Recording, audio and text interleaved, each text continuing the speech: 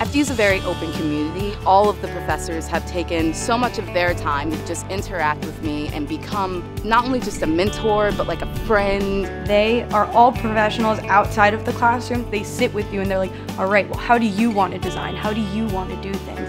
You are able to find people with your same shared passions. I want to dip my hands in everything so that I have the most experience possible in all different fields. It's so important to be able to work with people from all different majors. We work with the English department, the film department, animation. FDU really focuses on entrepreneurship. All the art professors require us to go to New York City as part of our class experience. I never thought I would be so passionate about something. These have been the best four years of my life. If I could do it all over, I would in a heartbeat.